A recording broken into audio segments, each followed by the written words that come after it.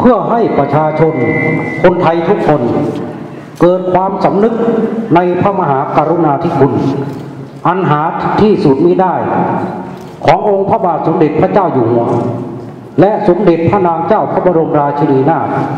ที่ทรงบำเพ็ญพระราชกรณียกิจ ด้วยความวิริยะอุตสาหะ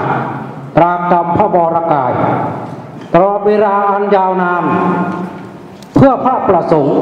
ให้เราพระสงฆ์นิกรชาวไทยทั้งหลาย อยู่อย่างร่มเย็นเป็นสุข และอยู่ดีมีสุขได้ร่มพระบารมี ดังนั้นในวันนี้เพื่อให้คนไทยทุกคน รู้รักสามัคคีหันหน้าเข้าหากัน และเสริมสร้างความสมานฉันท์ให้เกิดขึ้นในทุกระดับ และในโอกาสที่ท่านผู้ว่าราชการจังหวัดพะเยา นายชูชาติกีฬาแบง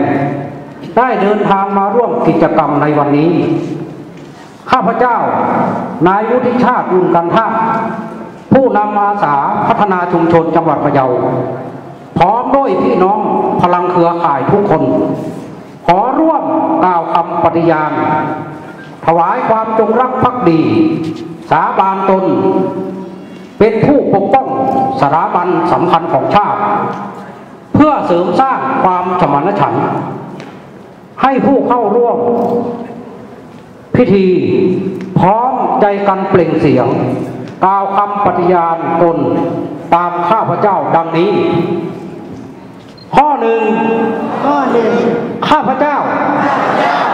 จะจงรักภักดีต่อสถาบันชาติจะจงรักภักดีต่อสถาบันชาติ ศาสนาศาสนา พระมหากษัตริย์ พระมหากษัตริย์ จะ คิดดีจะคิดดี พูดดีพูดดีปฏิบัติดี ปฏิบัติดี ต่อสถาบันสำคัญของชาติต่อสถาบันสำคัญของชาติทั้งต่อหน้าทั้งต่อหน้า และรับหลังและรับหลังข้อสองข้อสองข้าพเจ้าข้าพเจ้า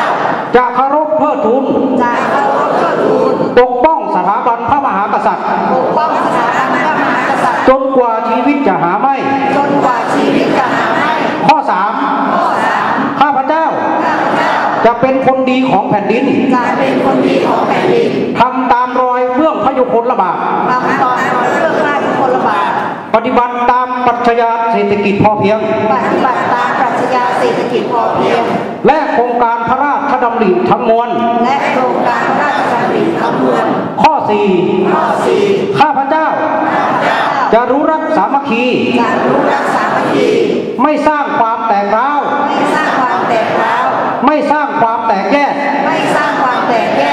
ไม่แตกความสามัคคีในบ้านเมือง ไม่แตกความสามัคคีในบ้านเมือง แต่จะสร้างความรัก แต่จะสร้างความรัก ความผูกพัน ความผูกพัน ความสมานฉันท์ให้บังเกิดขึ้น ความสมานฉันท์ให้บังเกิดขึ้น ข้อห้าข้อห้าข้าพเจ้า